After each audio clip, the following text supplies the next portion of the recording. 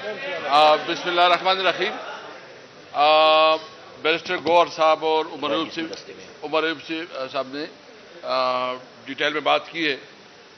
سب سے پہلے یہ میں پوچھنا چاہتا ہوں کہ کیا اس ملک میں یہ ملک آئین کے تحت چلنا ہے، قانون کے تحت چلنا ہے؟ ایک منٹ جی۔ یا یہ ملک جو ہے نا، بنانا ریپبلک ہے، جنگل کا قانون ہے۔ یہ ملک اگر کسی کے پاس اختیار ہے تو آئین نے اس کو اختیار دیا ہوا ہے آئین نے اس کو ریسپانسبلٹی دی ہوئے تو میں یہ پوچھنا چاہتا ہوں کہ یہ جو آئین سے ماروا، یہ جو آرڈر دے رہے ہیں اور جو آرڈر دے رہے ہیں وہ کس قانون کے تحت دے رہے ہیں اور جو آرڈر اوبے کر رہے ہیں وہ کس قانون کے تحت اس آرڈر کو اوبے کر رہے ہیں؟ اس ملک کو انہوں نے بنانا ریپبلک تو بنایا۔ ابھی اس کو انارکی کی طرف لے کے جا رہے ہیں۔ ابھی ملک میں اس طرح ماحول بنا دیکھو، ہم تو اس وقت جو پیشنس دکھا رہے ہیں، وہ اپنے لیڈر عمران خان کی وجہ سے کہ انہوں نے کیٹیگاری کے لیے کہا ہے، جو کیٹیگاری کے لیے ہمیں کہا ہے کہ آپ نے این او سی کے علاوہ جلسہ نہیں کرنا۔ ہمارے لیے تو کوئی پرابلم نہیں تھا۔ ہمارے تو لوگ کے پی کے کے تقریباً موبلائز ہو چکے ہیں۔ وہ تو ہم لے کے آتے تو یہ تو کوئی اس کو روکنے والے نہ ہوتا۔ ہم صرف اپنی لیڈر کی انسٹرکشن کو فالو کر رہے ہیں کہ انہوں نے کہا کہ آپ جب جلسہ کریں گے تو این او سی تاکہ وہ کوئی ایسے سچویشن نہ پیدا ہو۔ لوگ نکل چکے ہیں۔ لوگ نکل چکے ہیں لوگ راستوں میں ہیں۔ ہم نے صرف اور صرف اپنی لیڈر دیکھو ہم یقین رکھتے ہیں قانون اور آئین پہ۔ ہم یقین رکھتے ہیں کہ اس کو ملک کو قانون اور آئین کے مطابق چلاؤ۔ یہ اگر کوئی یہ کہتا ہے کہ یہ ملک کس طرح چلے گا نہیں چلے گا۔ میں اس لیے کہتا ہوں کہ دیکھیں وہ لمٹ آپ کراس کر رہے ہیں۔ ہم نے ابھی پولیٹیکل کمیٹی میں ڈسکس کیا ہے۔ اور متفقہ فیصلہ۔ اور متفقہ فیصلہ ہے۔ پارلیمنٹری۔ اور ہم اپنی لیڈر باری چیئرمین سے بھی مشورہ لیں گے کہ اگر اس دفعہ انہوں نے این او سی بھی نہ دی تو پھر ہم پرواہ نہیں کریں گے۔ اگر یہ قانون کو نہیں مانتے اگر یہ آئین کو نہیں مانتے اور یہ بندوق کے زور پہ اور اپنی ہر درمی کے زور پر جو ہے نا سب ملک چلاتے ہیں نہیں چلائیں گے۔ میں یہ کہتا ہوں، دیکھو، ہم اس ملک کو قائد اعظم کا پاکستان بنانا چاہتے ہیں۔ ہم چاہتے ہیں کہ ملک، قانون اور آئین کے مطابق چلے، تمام ادارے اپنے اپنے پیرامیٹر میں کام کریں عدلیہ آزاد ہو، فوج جو ہے نا اپنے پیرامیٹر میں کام کرے اور پارلیمنٹ کے اپنا جو جورسڈکشن ہے، اس میں کام کرے۔ یہ تب چلے گا۔ نمبر ون نمبر ٹو بات یہ ہے کہ دیکھو، انہوں نے آئی ایم ایف کا بجٹ پاس کیا۔ یہ بجٹ کسی طور پر اس عوام کی نمائندگی نہیں کرتی۔ یہ جو ٹیکسز انہوں نے لگائے ہیں یہ کسی طور پر منظور نہیں ہے جو انہوں نے بجلی کی قیمتیں میں جتنا اضافہ کیا ہے اس کو ہم کسی صورت میں نہیں مانتے۔ اور جو انہوں نے مزید جو ایک مختلف جو سیلری کلاس پہ جو ٹیکس لگایا ہے ناقابل قبول ہے۔ ہم صرف اپنے عوام سے ایک ایک بالکل آپ کے سامنے رکھتے اپنے ورکر بھی کہتے ہیں۔ کہ بھائی ہم ڈٹے ہوئے ہیں، آپ ذہن میں رکھے نہ ڈرے ہیں، نہ پیچھے ہٹے ہیں۔ ہم لڑیں گے قانون اور آئین کے بیچ۔ ہمارے لیڈر ہمیں بتاتا ہے کہ ہم نے قانون اور آئین کو سامنے رکھتے ہوئے اپنے جدوجہد کرنی ہے۔ مجھے صرف بتایا کہ ایک جو جیل میں گئے، جو ہمارا اپوزیشن لیڈر ہے، جو کہ پارلیمنٹ کو ریپرزینٹ کرتا ہے، جو سینٹ میں اپوزیشن لیڈر ہے، جو سینئر لیڈرز ہیں، ان کو آپ ملاقات نہ کرنے دیں۔ بھائی کس قانون کے تحت؟ آپ کی تو جیل کے اپنے مینول بھی ہے، اس میں بھی ایک پروسیجرز ہے۔ میں صرف آج ہمارے دیگر ساتھی بھی کوئی بات کرنا چاہتے ہیں، ہمارے ایم این ایس بھی ہیں۔ میں بالکل یہ بات کلیئر کرنا چاہتا ہوں، بھائی ڈرنے مرنے کی بات نہیں ہے۔ ہم کسی طور پر کسی سے ڈری نہیں ہیں۔ ہم اپنا آئینی اور قانونی جنگ جاری رکھیں گے۔ میں صرف پیپل پارٹی کو کہنا چاہتا ہوں۔ کہ یہ پیپل پارٹی جو ہے نا ڈبل سٹینڈرڈ ختم کرے۔ ایک طرف تو آپ جو ہے نا کہتے ہیں کہ بجٹ پہ اعتراض بھی کرتے ہیں، اپنے آپ کو اچھا بھی بناتے ہیں، پھر بجٹ کو ووٹ بھی دیتے ہیں۔ آپ جو ہے نا ایک طرف کہتے ہیں کہ ہیومن رائٹس کی وائلیشن وائلیشن کی بات کرتے ہو، اور اس وقت تحریک انصاف کے ساتھ جو بنیادی ہیومن رائٹس کی وائلیشن ہو رہی ہے، اس پہ کوئی وہ بات نہیں کرتی۔ یعنی جو ہمارا جو ہمارے سوشل ورکر جو ہمارے سوشل میڈیا کے ورکر ہیں رضوان جو ہمارا میڈیا کو ڈیل کرتا ہے یہ جو ہمارے اظہر مشوانی ہے یہ جو گل صاحب کا بھائی ہے یا جو بھی ہے یہ کس قانون کے تحت یہ ساری غیر قانونی ہے اس کو نہیں مانتی اس کے خلاف ہر پلیٹ فارم پہ آواز اٹھائیں الرجیم بسم اللہ الرحمن الرحیم۔ اللہم صلی وسلم مبارک علی سیدنا محمد وعلی آل محمد۔ میں سینئر قیادت نے گفتگو کر لی ہے۔ آج پورا پاکستان تیار تھا۔ اور اب بھی تیار ہے۔ خیبر پختونخوا میں ایک تاریخی موبلائزیشن ہو چکی ہے۔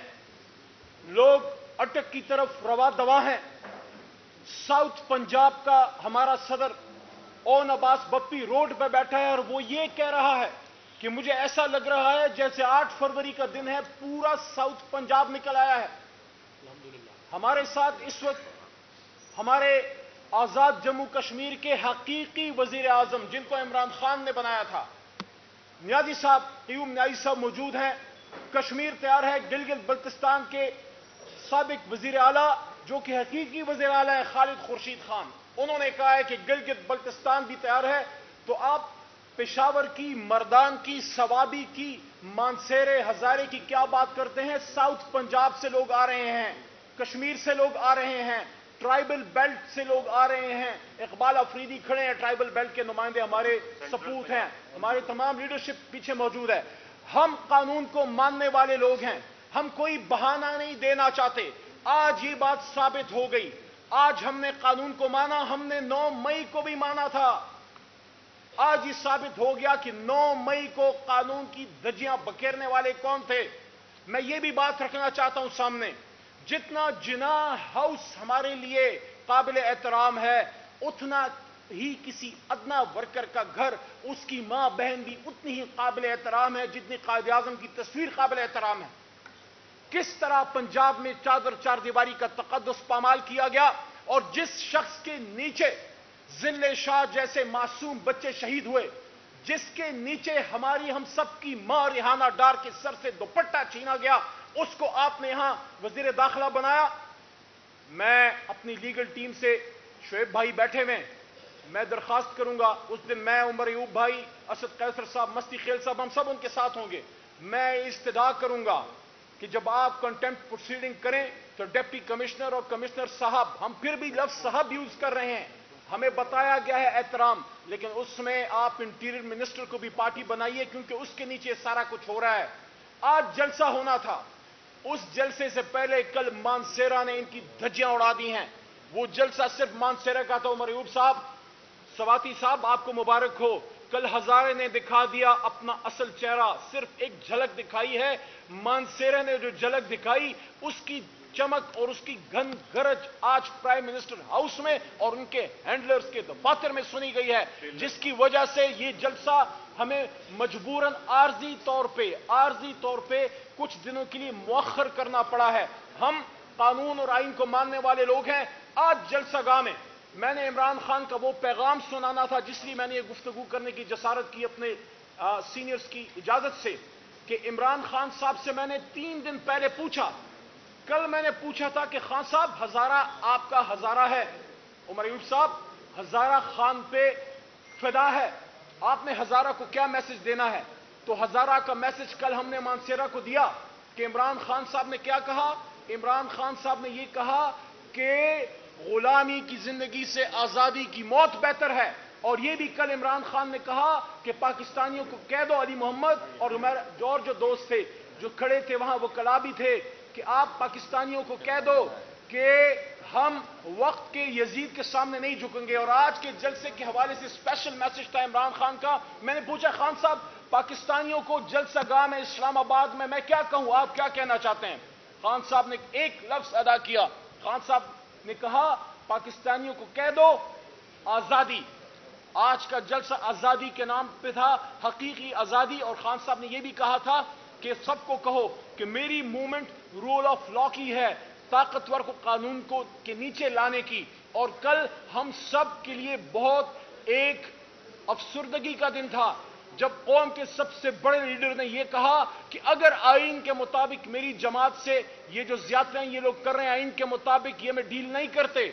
ہمارے اسیران کی رہائی نہیں ہوتی، یہ ظلم بند نہیں ہوتا، ہمیں ہمارا مینڈیٹ واپس نہیں کیا جاتا، آئین کی حکمرانی کے لیے پھر میں بھوک ہڑتال پہ جاؤں گا، اور یہ بھی کہا کہ جب میں بھوک ہڑتال پہ جاؤں گا، اپنے وکلا اور سیاسی قیادت سے مشورے کے بعد، تو پھر پاکستان کے ہر گلی گلی، کریا کریا، دکان دکان، شہر شہر، کھیت اور کھلیان، پھر پرامن احتجاج ہوگا، بھوک ہڑتال ہوگی، پروٹیسٹ ہوگا، اس تک ملک کو لے کے نہ جائیں، ملک کو آئین کے مطابق لے کے چلیں، پاکستان کو آئین کے مطابق چلائیں، احتجاج کرنا، جلسہ کرنا جمہوریت کا حسن ہے۔ میں آخر میں صرف یہ کہوں گا، ابھی تو خان نہیں نکلا، ابھی تو خان کے صرف کارکن نکلے ہیں۔ جلسہ گاہ تو ابھی بھرا نہیں تھا، آپ کے اوسان خطا ہو گئے۔ اس لیے میں صرف یہی کہوں گا کہ ڈر گے جے، بھاگ گے جے، نس گے جے۔